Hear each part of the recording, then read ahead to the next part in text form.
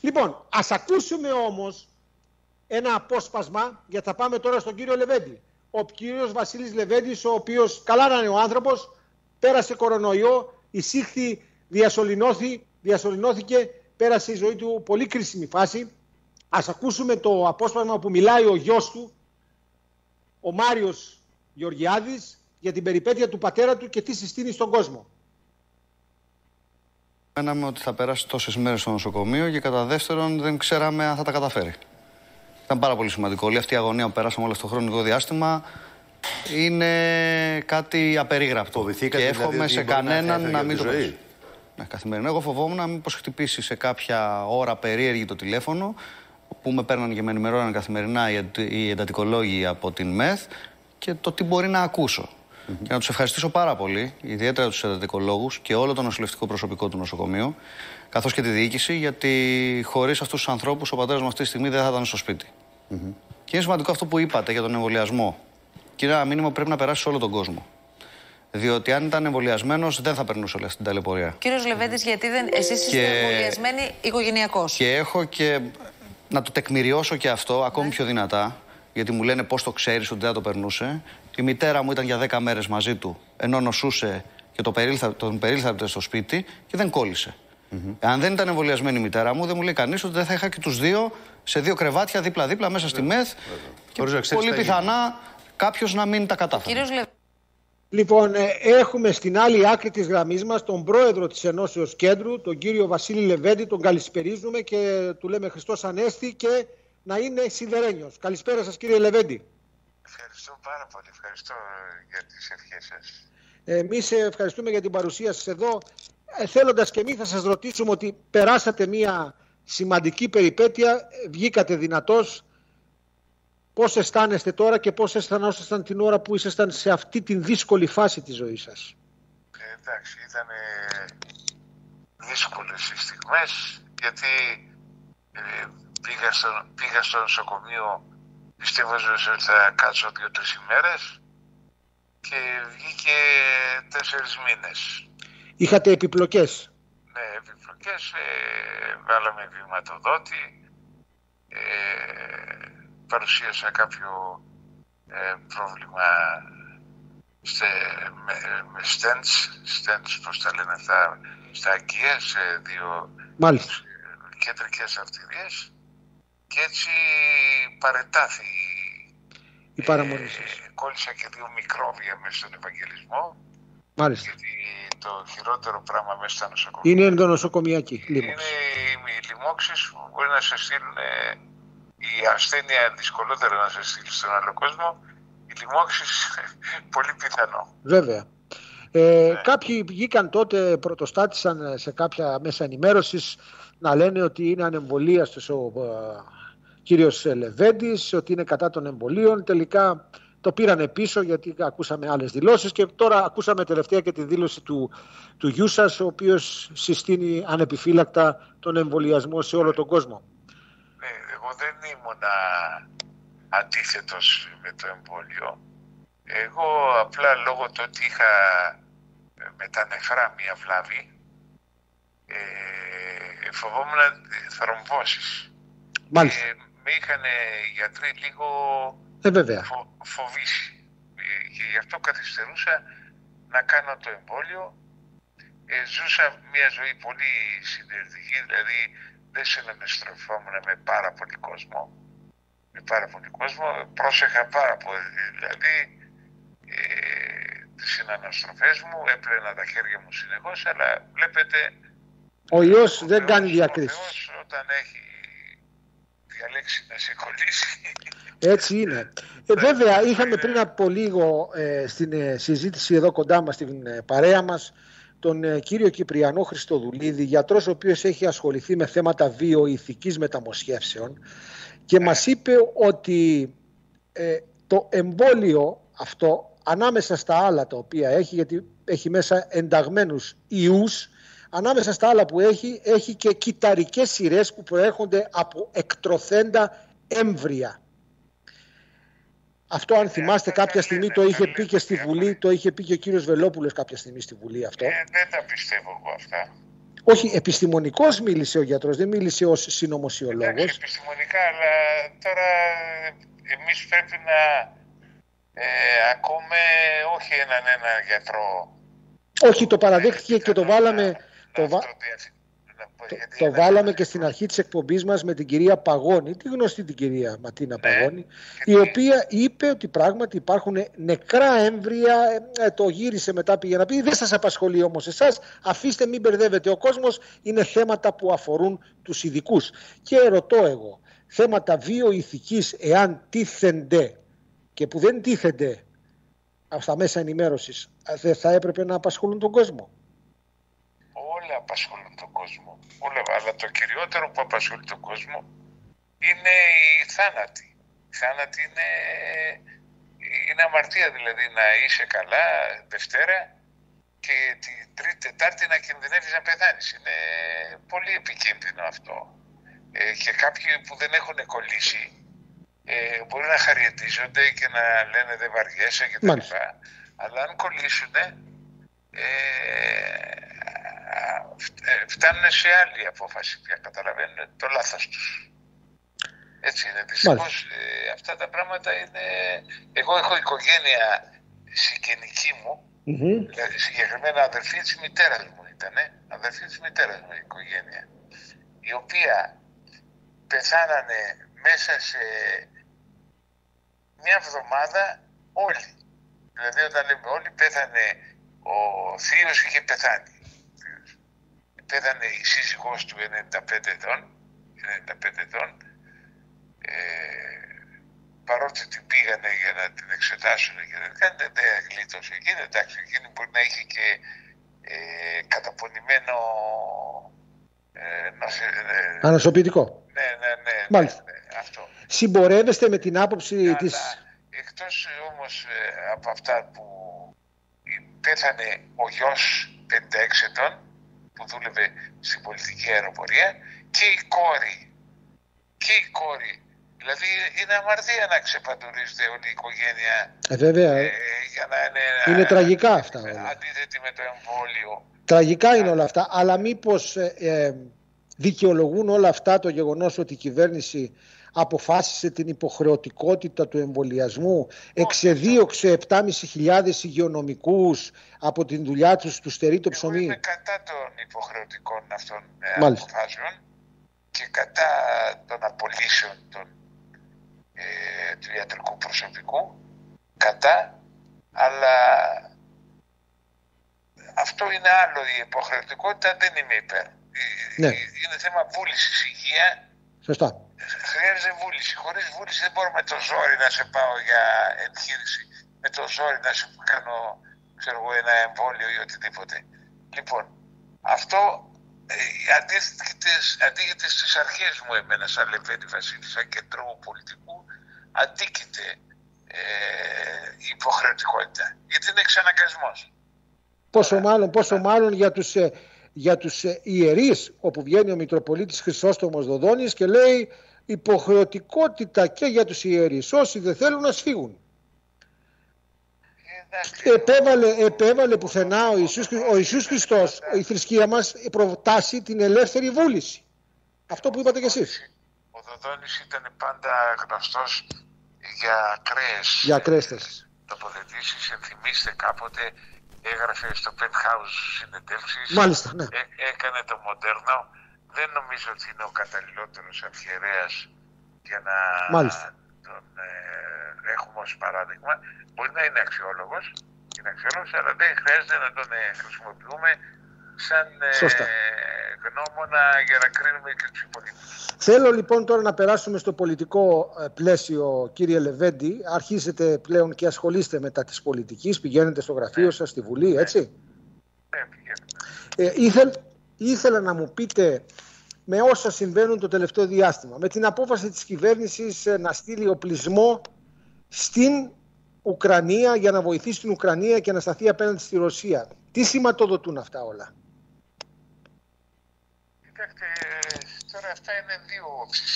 Είναι, είναι όπως ένα νόμισμα, έχει και κορώνα έχει και γράμματα. Μάλιστα. Δεν έχει μόνο κορώνα.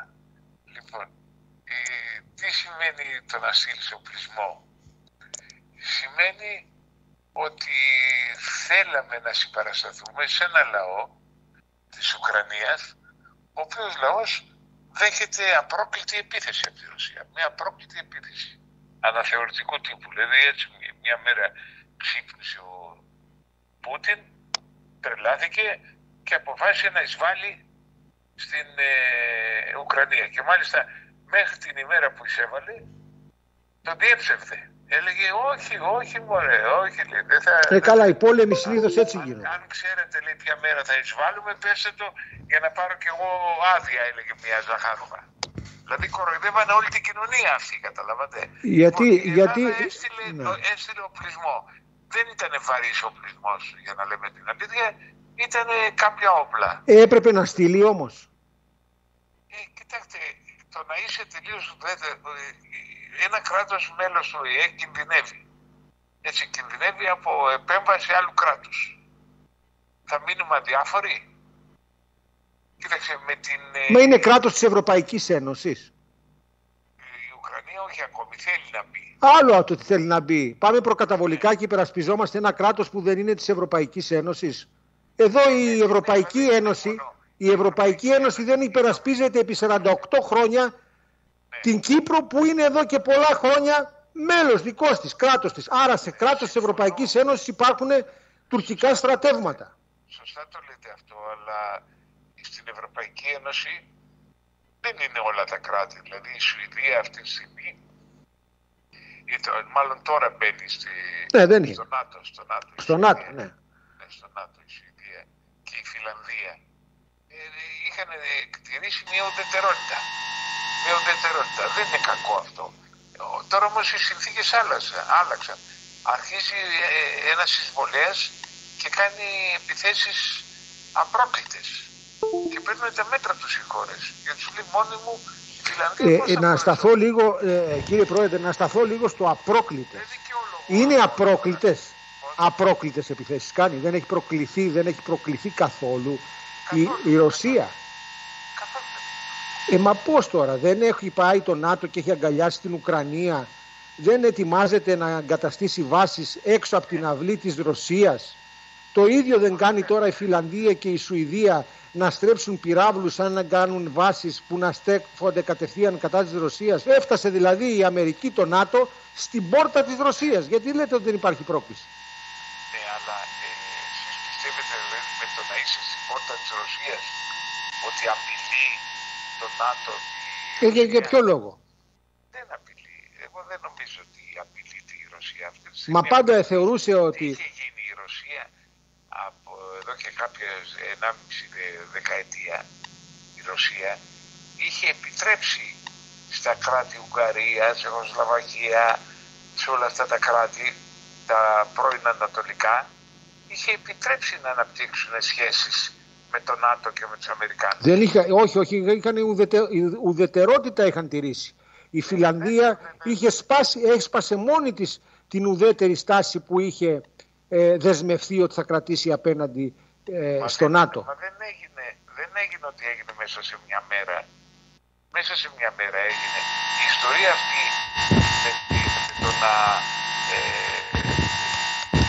ζητούν οι Ουκρανοί να μπουν στον ελεύθερο κόσμο, τον δυτικό κόσμο, δεν έγινε χθες. Είναι Όχι. πολλά τα χρόνια που η Ουκρανία προσπαθεί να απογαλακτιστεί από τη Ρωσία. Είναι Μα πολλά και το τα- 2014 κάτι αντίστοιχο δεν είχε γίνει. Εκλεγμένος πρόεδρος της Ουκρανίας Ναι. ε, ανε- ανετράπη ουσιαστικά με τις ε, ε, εκδηλώσεις που γίνονταν εκεί από ναζιστές νεοναζιστές του Αζόφ το 2014 Ναι. Ανετράπη ο εκλεγμένος μπήκε η μαριονέτα και τώρα υπάρχει μια δεύτερη μαριονέτα όπως πολλοί λένε ο Ζελένσκι Ε, εντάξει, αλλά ε, το δικαίωμα ενός λαού να υπάρχει ε, το, τα- το ταυτίζεται με μια μαριονέτα.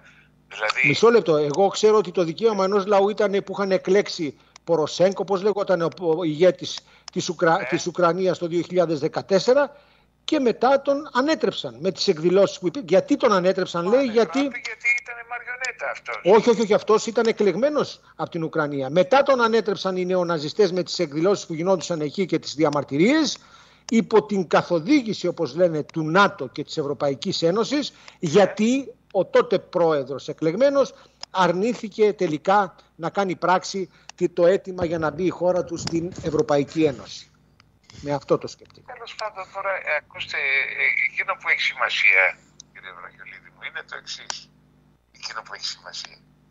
Ε, στη σημερινή εποχή, άλλο πριν έναν αιώνα ή πριν 50 χρόνια, στη σημερινή εποχή, το δικαίωμα ενός λαού να ρυθμίσει το μέλλον του υπάρχει; Σαφέστατα, βεβαίως υπάρχει. Ε, Πώς υπάρχει όταν ο άλλος μπορεί να εισβάλλει με τα τάγκς; Πώς υπάρχει αυτό, δηλαδή Ναι. δεν το καταλαβαίνω. Ναι. Ε, μάλλον οι Ρώσοι κάνουν λάθος, μπερδεύουν τις εποχές. Άλλη εποχή είχαμε το Ναι. Επιτρούτζεκ, τότε που εισέβαλαν στα ίσα μες στη ε, Τσεχοσλοβακία, που όλη, ε, η διεθνής κοινότητα τα δέχεται όλα και οι Αμερικάνοι, αν δεν πήραζε στους ίδιους, ήσουν χαλό. Ε, πώς σας φάνηκε η απάντηση που Οι έδωσε Αμερικάνοι στους Ρώσους τα πάντα, αρκεί να μην ενοχλούνται οι ίδιοι. ε, το δικαίωμα ενός λαού να υπάρχει ως Ιουγκοσλαβία για παράδειγμα το, μέχρι το 1999 το σεβάστηκε το ΝΑΤΟ που βομβάρδισε τη Ιουγκοσλαβία και διέλυσε τελικά την ε, Ιουγκοσλαβία και βομβάρδισε και Γιατί το όμως Βελιγράδι. την βομβάρδισε; Πώς; Γιατί την βομβάρδισε, λέτε εσείς; Ε, το 1999 δεν είχαμε εισβολή του ΝΑΤΟ στην ε, ανεξάρτητη τότε Ιουγκοσλαβία. Γιατί όμως ε, το έκανε αυτό το ΝΑΤΟ. γιατί Γιατί, το έκανε δεν, σε, αυτό το- δεν σεβάστηκε την ε, δυνατότητα Διότι των... ο, ε, το καθεστώς Μιλόσεβιτς Μμμ. έκανε ομαδικούς τάφους. Δεν το ξέρετε. Μπορεί εδώ στην Ελλάδα να είναι, να είναι λίγο ο κόσμος αποπροσανατολισμένος. Μμμ. Ε, δηλαδή να νομίζει, ε, εμείς αγαπάμε και τους Ρώσους, άμα γίνεται τώρα ένα δημοψήφισμα μέσα στην Ελλάδα, βγαίνει αυξημένο ποσοστό υπέρ των Ρώσων. Αυτό πάντως λένε ότι ήταν μια Όπως και μπλόφα, υπέρ των Σέρβων. μια δικαιολογία λένε ότι ήταν αυτό, κατά την ίδια δικαιολογία που ήταν και η εισβολή το- των Ναι. Αμερικάνων στον, στο, στο Ιράκ, ότι κατασκεύαζε χημικά όπλα ο Σαντάμ Χουσέιν. Αυτοί κοιτάξτε τι, τι πάθανε και οι Ρώσοι και οι Αμερικάνοι και όλοι. Ε, όσο προχωράει η εποχή αλλάζουν και οι συνθήκες. Αλλάζουν και οι συνθήκες. Λαοί που μέχρι τώρα εδέχονται δικτατορίες, καταπιέσεις, τα πάντα, τώρα σηκώνουν το κεφάλι. Και αυτό ενοχλεί τους ισχυρούς. Ακόμη και τους Αμερικάνους που κάνουν ότι Ναι. κόπτονται υπέρ της ελευθερίας των λαών και αυτούς τους ενοχλεί. Γιατί δεν, δεν θέλουν την ελευθερία των λαών, θέλουν να είναι αυτοί τα αφεντικά. Σωστά. Εδώ, εδώ λοιπόν οι λαοί πρέπει να δώσουν έναν αγώνα ενάντια στην καταπίεση. Να δημιουργηθεί ε, μια, ε, ε, μια, μια νέα τάξη πραγμάτων στη διεθνή κοινότητα, τα σύνορα να είναι οριστικά, να είναι οριστικά τα σύνορα, να μην μπορεί καθένας να εισβάλλει όπως έκανε η Τουρκία. Γιατί αν δεχθούμε εμείς ότι δικαιούται ο Ρώσος να εισβάλλει στην Ουκρανία, νομιμοποιούμε και τον Ερντογάν και τον Ετσεβίτ που εισέβαλαν στην Κύπρο. Είναι λοιπόν ένα δίκοπο μαχαίρι, πρέπει Ναι. να προσέχουμε εμείς. Ε, εμείς μπορεί να έχουμε μια παλαιά φιλία με την, ε, με την Ρωσία, Ναι, ναι. αλλά βλέπετε και αυτή η φιλία δεν είναι εξυπηρετική. Εγώ θυμάμαι μέσα στη Βουλή ο Ρώσος πρεσβευτής, τότε που ερχόταν και κουβεντιάζαμε, υπήρχε το εμπάργκο των προϊόντων προς τη Ρωσία. Και μου, τι μου ζητούσε συνεχώς; Κόψτε το εμπάργκο. Το εμπάργκο μας ενοχλεί. Κόψτε το εμπάργκο για να σας στηρίξουμε κι εμείς. Αλλά αν κόβαμε το εμπάργκο ήταν απόφαση της Ευρωπαϊκής Ένωσης. Αν μονομερώσει η Ελλάδα δεν μετήχε στο εμπάργκο, θα ήταν μια πράξη απειθαρχίας μέσα στην Ευρωπαϊκή Ένωση από την Ελλάδα. Ναι, ναι. Ξέρετε κάτι, το θέμα της Είναι- πειθαρχίας είναι το σοβαρά, θέτεται λοιπόν, τα έτσι. ζητήματα. Αυτοί θέλαν, ερχόντουσαν αντί να μας κάνουν καλό και να μας βοηθήσουν, ερχόντουσαν εδώ για να μας κάνουν φασαρίες. Ναι, δεν θα μπορούσε όμως τώρα ο κύριος Μητσοτάκης, δεν έχουμε χρόνο, να πει ότι επειδή η Τουρκία εισέβαλε στην ε, Συρία για δεύτερη φορά, ένα ανεξάρτητο κράτος στη Συρία, ας στείλει η Ευρωπαϊκή Ένωση οπλισμό όπως έκανε και στην Ουκρανία, ας στείλει και στην ανεξάρτητη χώρα τη Συρία και ας επιβάλλει επιτέλους κυρώσεις κατά της Τουρκίας. Δεν το κάνει αυτό όμως. Δεν το κατάλαβα τι είπατε τώρα. Λέω, επειδή καταδικάζουμε την εισβολή της Ρωσίας στην Ουκρανία, να καταδικάζουμε κατά τον ίδιο τρόπο την εισβολή και την εξακολουθούσα εισβολή της Τουρκίας στην Κύπρο και τώρα στη Συρία. Η Τουρκία έχει εισβάλει στη Συρία και έχει πάρει εδάφη της Συρίας και να ζητήσουμε κυρώσεις της Ευρωπαϊκής Ένωσης κατά της Τουρκίας. Δεν το κάνει αυτό όμως ο κ. Μητσοτάκης.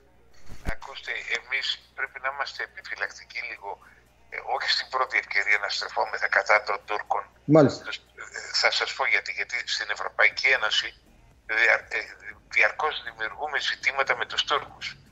Μα αυτοί δημιουργούν σοβαρό. Εγώ που μιλάω και με ναι. παράγοντες της Ευρώπης, ναι. ε, μου, μου ζητούν ε, να, κατεβάσουμε να είμαστε μεν προσεκτικοί με την Τουρκία, ναι. ότι έχουμε, έχουμε δίκιο mm-hmm. στο καταπατούν τον εναέριο χώρο, τα χωρικά ύδατα, όλα αυτά, αλλά μην δημιουργούμε και για το κάθε τι ε, ε, ε, προβλήματα, γιατί στο τέλος το μόνο πρόβλημα της Ευρώπης θα είναι η Ελλάδα, η Ελλάδα θα είναι. Μάλιστα. Και ξέρετε, δεν θα μας στηρίζουν επάπειρον όταν είμαστε μια φλεγμονή μέσα στην Ευρωπαϊκή Ένωση. Εκεί έχουμε καταλήξει. Να είμαστε ένα απόστεμα μέσα στην Ευρωπαϊκή Ένωση. Εμείς. Τέλος πάντων, εντάξει. Σεβαστή η άποψή σα. Πιστεύω ότι πρέπει με γλυκύτερο τρόπο, με πιο ήπιο τρόπο και έξυπνο και με τη συμβολή βέβαια των Αμερικανών και των ε, ισχυρών της Ευρώπης, Γερμανών και Γάλλων κλπ. Να προσπαθήσουμε να τσιτώσουμε, να πιέσουμε τον Τούρκο, να τον ε, στριμώξουμε. Στο τέλος τι θα κάνει, θα αναγκαστεί να γίνει νομιμόφρονο ή θα σηκωθεί να φύγει. Δεν, μπορεί, δεν μπορείς να παραμένεις σε μια ε, κοινότητα νομιμόφρονα ε, όντας ταραχοποιός. Δεν, δεν, δεν είναι δυνατόν. Αυτό θέλει ο Ερντογάν. Κύριε Λεβέντη, και να διαλύσει και την Ευρώπη. Αυτό θέλει. Δεν νομίζω όμως ότι το επιτρέψουν αυτό. Ευχαριστώ πολύ για την παρουσία σας, κύριε Λεβέντη. Την αγάπη μου, κύριε Βαγγελίδη. Να είστε καλά, σιδερένια. Σας ευχαριστώ.